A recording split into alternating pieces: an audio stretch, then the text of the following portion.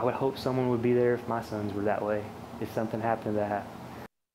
An Odessa parent is being called a hero tonight for saving a teenager's life on the soccer field.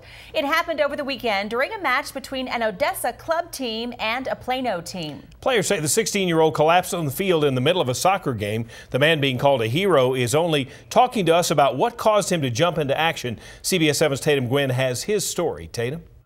Jay Tatum Brian Smith says he's just glad he was at the right place at the right time. It's a typical day for Brian Smith, drawing up new drafts. That's how he describes this past weekend at Carpenter Park soccer fields in Plano. Ordinary.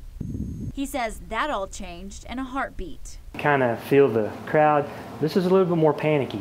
So I ran out there and, and uh, see if I could help, you know. All of a sudden, he just fell. Smith found 16 year old Jonathan Nava lying face down on the field. He and another bystander immediately turned him over and started chest compressions. KDFW shared the 911 call of the incident. He's not breathing anymore. They're doing chest compressions again. I had to do this four or five times before the paramedics got there. It's the longest 10 minutes of my life. Nava's coach is thankful for Smith, a parent from the opposing team stepping up to help. I mean, I didn't tell him. Mm -hmm. And I don't think anybody else told him. So that was great.